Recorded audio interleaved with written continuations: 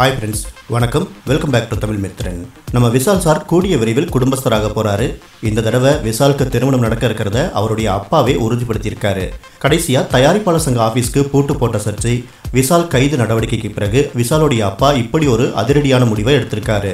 நடிகர் விஷால் ஆந்திராவை சேர்ந்த பொண்ணை திருமணம் பண்ணிக்கிருக்காரு விஷால் தென்னிந்திய நடிகர் சங்க பொதுச் செயலாளராகவும் தமிழ் திரைப்பட தயாரிப்பாளர் சங்க தலைவராகவும் பொறுப்பு வகிச்சிட்டு இருக்காரு. விஷால் வரலட்சுமி ரெண்டு பேரும் காதலிச்சிட்டு வரதாகவும் விரைவில் இவங்க ரெண்டு பேரும் திருமணம் பண்ணிக்குவாங்க அப்படின்னு சொல்லப்பட்டது. சமீபத்தில் விஷால் நண்பர் மட்டுமே அப்படின்னு சொல்லி வரலட்சுமி விளக்கம் கொடுத்திருந்தாரு. மேலும் விஷால் விரைவில் ஒரு பெண்ணை திருமணம் பண்ணிக்கணும் அப்படின்னு தான் ஆசைப்படுறதாகவும் பேட்டி ஒன்றில் வரலட்சுமி தெரிவித்து வதந்திகளுக்கு முற்றுப்புள்ளியும் வச்சிருந்தாரு.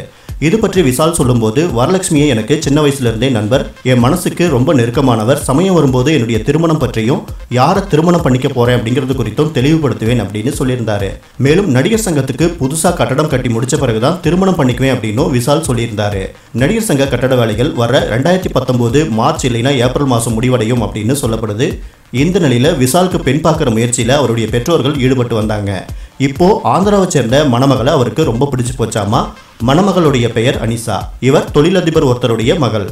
விஷால் அனிசா திருமண நிச்சயதார்த்தம் ஹைதராபாத்தில் நடக்க இருக்கு இதுக்காக விஷால் குடும்பத்தினரோட ஹைதராபாத் போக இருக்காரு. நிச்சயதார்த்தத்தில் திருமண தேதியும் முடிவு பண்றாங்க. விஷாலுக்கு மணமகள் முடிவானதையும் ஹைதராபாத்தில் நிச்சயதார்த்தம் நடக்க இருக்கிறதையும் அவருடைய தந்தையும் தயாரிப்பாளருமான ஜி கே ரெட்டி அதிகாரப்பூர்வமாக அறிவிச்சிருக்காரு.